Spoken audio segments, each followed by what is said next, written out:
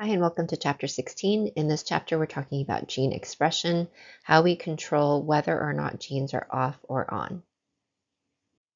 Previously, we learned that every body cell or somatic cell in an organism contains the full genome of the organism.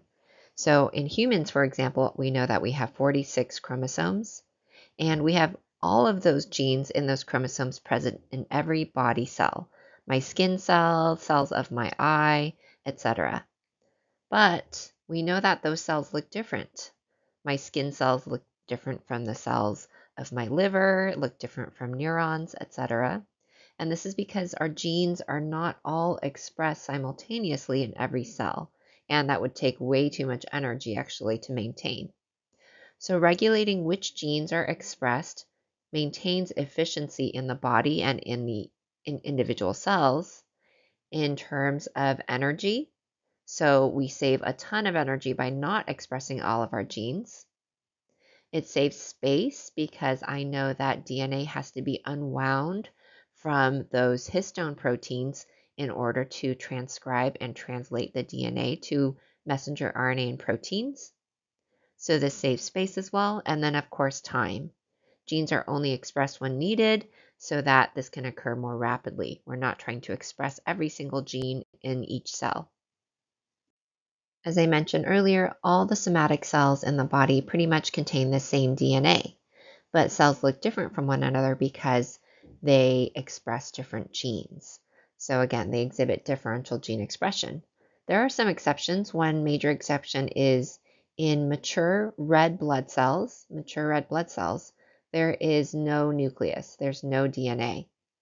And this is because they contain a protein called hemoglobin that binds oxygen, and they need a lot of this packed inside each red blood cell. But you'll learn more about this in a future biology class. Looking at all the different cells or different types of tissues in our body, though, only the specialized proteins that make up each body part are expressed. For example, in the eye over here, only specialized proteins that make up the eye and the parts of the eye are expressed in the eye. The same thing goes for the liver and the pancreas.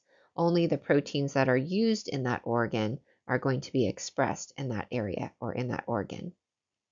So at any given time, only a subset of all the genes encoded by our DNA are expressed and translated into proteins, and that subset really depends on what um, organ or what body part you're looking at. Ultimately, this gives rise to all of the different parts of our body that are in the living organism. So we learned in chapter 15 that transcription and translation occur differently in prokaryotes versus eukaryotes. In prokaryotes, like bacteria, we remember that there is no nucleus. So everything happens in the cytoplasm, both transcription and translation during gene expression. So as soon as your messenger RNA is produced, ribosomes can bind to the messenger RNA and begin translation of the mRNA into your polypeptide. In eukaryotes, however, because of the presence of the nucleus, transcription and translation are separated. First, you take DNA and make your messenger RNA. Then that mRNA has to be shuttled to the cytoplasm before translation can occur. So this process of going from DNA to messenger RNA and then to protein is called gene expression. And this is a very complicated process and it's regulated at different levels depending if you're looking at a prokaryotic cell like bacteria or if you're looking at eukaryotes. Since these occur, since transcription and translation occurs pretty much at the same time for prokaryotes, regulation of gene expression really occurs at the transcriptional level for these prokaryotes. So it really occurs here. In eukaryotes, since it's much more complicated, we're going to see that uh, the control or regulation of gene expression is going to occur at many different stages within the cell. So if we look at regulation of gene expression in eukaryotes, again, remember that transcription and translation are physically separated by that nucleus, that nuclear membrane in eukaryotes. And our gene expression is going to occur at many different stages. It can occur in terms of the epigenetic level, and this is where we're going to control how tightly DNA is wrapped around those histone proteins. So again, control can occur at the epigenetic level. Control can be um, control of gene regulation can occur at the transcriptional level through transcription factors. It can even occur at the post transcriptional level, and this would be during that RNA processing from pre messenger RNA to your mRNA. Remember, we splice out the introns, add a 5' G cap, and that poly A tail to the 3' end. It can, the gene expression regulation can occur during translation, or it can even occur after translation, and we call that post translational regulation. This picture from our book shows a little bit more detail in terms of where gene expression can be regulated, the different steps that we can regulate. So we can regulate our chromatin through chromatin modifications. We've learned a little bit about DNA methylation and histone acetylation from the article that we read and from previous chapters. So I know methylation usually silences DNA expression or gene expression by um, making DNA wrap more tightly around those histone proteins.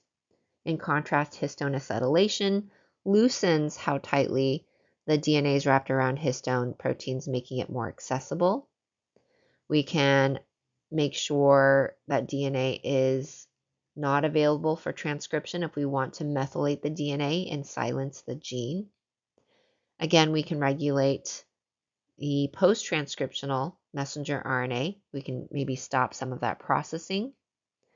Or once we've made messenger RNA, before we translate it into protein, we could potentially degrade our messenger RNA so it's not going to be read and produced into a polypeptide. We can modify our polypeptide. This would be a post translational effect or post translational regulation um, so that it doesn't get to its final destination, or we can even break down our protein so that it doesn't have its final function if we don't want it to have that function. And this is a table, table 16.1 from our book, that's really helpful in terms of looking at the gene expression differences between prokaryotes and eukaryotes. So remember, prokaryotes do not have a nucleus, whereas eukaryotes do. DNA is found in the cytoplasm or nucleoid of prokaryotes, whereas in eukaryotes, it's usually inside the nucleus. Although remember, we do have some DNA in our mitochondria and chloroplasts of plants. In prokaryotes, transcription and translation pretty much happen at the same time, whereas in eukaryotes, this is not possible because transcription happens inside the nucleus and then translation occurs in the cytoplasm. And in prokaryotes, we thought we saw in the previous slide that we usually regulate gene expression at the transcriptional level.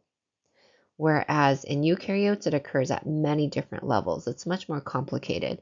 We can have epigenetic regulation, transcriptional regulation, um, whether or not we move the messenger RNA out of the nucleus. We can have regulation occur at post-transcriptional, uh, Uh, sorry, post-transcriptional, translational, and post-translational levels as well, as seen in the previous picture. So the first thing we're going to look at are examples of prokaryotic gene regulation, which remember occurs at the transcriptional level. And before we can dive into that, we kind of have to talk about how prokaryotic genes are expressed in the first place. Remember, prokaryotic DNA is found in the nucleoid region of the cytoplasm, which is usually somewhere in the middle of the cell. And interestingly, for prokaryotes, a single messenger RNA molecule can actually encode genes for several different proteins. And this is in contrast to eukaryotes, where one mRNA usually means one protein. In prokaryotes, since we have several different genes in one messenger RNA molecule, these blocks, these organized blocks, are known as operons. So this could be, for example, an operon for some kind of uh, functional pathway in the cell. Operons are regulated by three different molecule types. We have repressors that will block or suppress transcription. We have activators that will enhance or increase transcription. And then we have something known as inducers that can either suppress or activate transcription, really depending on what the cell needs at the moment or whether or not the substrate for the reaction is available or not. So again, in prokaryotes, let me redraw that messenger RNA. We have these genes, usually several, it's not always three, I'm just fitting three into this line here. And these genes that are involved in the same biochemical pathway, same, I'll just put pathway, that are organized into operons, and they're regulated by these different types of molecules. So if I look at each of these, uh, the repressors that we said suppress transcription, they're going to bind to a region in the operon known as the operator, operator region. Activators, in contrast, that increase transcription are going to bind to the promoter region or the promoter site. And both of these will be upstream or before the genes for that biochemical pathway. So usually the operator will be somewhere over here and the promoter will be even upstream from that. So our first detailed exploration of the operon is going to be the tryptophan operon. And tryptophan is an amino acid that we find in our proteins. In prokaryotes, like bacteria, uh, such as E. coli, to make tryptophan, you need five enzymes to do so. And the five genes that encode those enzymes are found here. So here is my operon. Here are my five genes, TRPA through trip E, that are going to be transcribed. So the operon is DNA. So this whole thing, I should say, this whole thing is DNA. That'll be transcribed into messenger RNA containing those five genes. And then eventually those will be translated to those five enzymes to produce tryptophan. Since tryptophan is an amino acid that's incorporated into a variety of proteins, usually this operon is going to be on.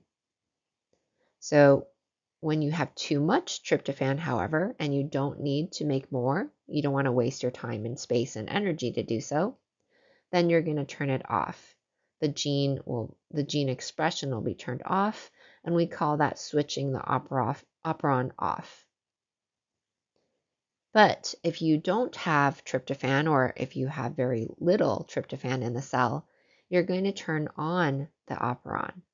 You're going to begin gene expression of these five genes that encode the enzymes to produce tryptophan.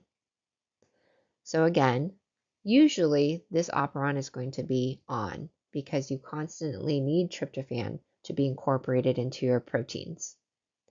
But when you have too much tryptophan, you're going to turn off the operon. So this is why we call it a repressible operon. The default state is on, and you're going to turn it off when you have too much tryptophan. So let's write default is on, and it turns off again if you have too much tryptophan and you don't need to make more. So how does this regulation occur? So let's look at the different regions of the operon again. We have our coding region, where our genes are located. This is the coding region. We have our operator, where earlier I mentioned repressors bind to. We have our promoter region that activators bind to, but RNA polymerase, the enzyme that reads DNA and produces messenger RNA, is going to bind to promoters too, as we saw earlier in chapter 15. So we have our transcriptional start site is going to be somewhere in the promoter region as we learned in chapter 15. It turns out that when you have plenty of tryptophan, you're not going to want to make enzymes to produce more tryptophan because that would be a waste of your time and energy. So when you have a lot of tryptophan, tryptophan actually binds to the repressor protein and allows it to bind to the operator region. It turns out that when the repressor protein is by itself, if I have a repressor protein by itself, without tryptophan, the shape is such that it cannot bind to the operator. But when tryptophan binds to the repressor protein, it changes its shape so it's optimized to bind to the operator region. having the tryptophan plus repressor complex bind to the operator results in a physical blockage so that RNA polymerase cannot move forward to transcribe these five genes. So it physically blocks, again, RNA polymerase. When there's no tryptophan, however, there will be no tryptophan to bind to the repressor protein.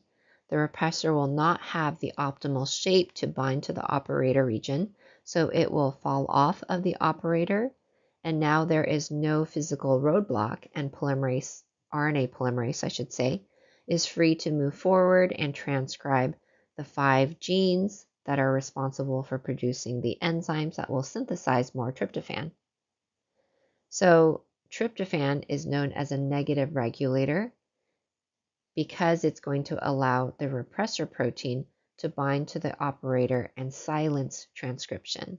So in this case, I would say tryptophan is a negative regulator and the repressor protein that it binds to. Again, this is called a repressible operon because the default state will be on. Tryptophan will be produced so that it can be incorporated into the, the different proteins that we have in our cell. And this is a really nice way for cells to regulate themselves because when there is no tryptophan or not enough tryptophan available, the operon is on and genes are expressed to make tryptophan. But if there's too much, it will self regulate by binding to the repressor blocking RNA polymerase by having the repressor bind to the operator and inhibiting transcription. Once you run out of tryptophan, we're going to see this state. So it constantly goes back and forth, um, really to regulate how much tryptophan we have in our cell. And that takes us to the end of our first video. For our second video in chapter 16, we're going to look at the lactose operon as well as epigenetic regulation.